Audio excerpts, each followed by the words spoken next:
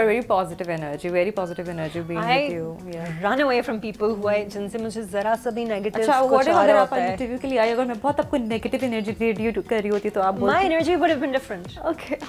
you see uh, the Yeah. thing with energy is, is that you exchange it with people Yeah, right? um, आप note करें कभी आप किसी ऐसे चार लोगों के बीच में बैठ जाएँ जिन जो बहुत ही नेगेटिव सोच रखते हैं या 10-15 मिनट आधे घंटे के बाद आपको लगेगा आप भी नेगेटिव हो रहे हो। डिफ्लेट हो जाओगे आप। Yeah because you know this is how it works. I मैं मेरी ज़िंदगी में जितने भी नेगेटिव लोग थे मैंने उनको ऐसा कटाया है।